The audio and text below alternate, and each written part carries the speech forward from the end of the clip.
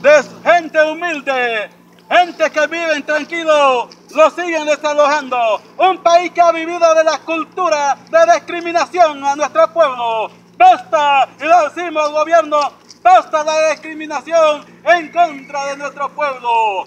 Un pueblo unido. Y un pueblo unido.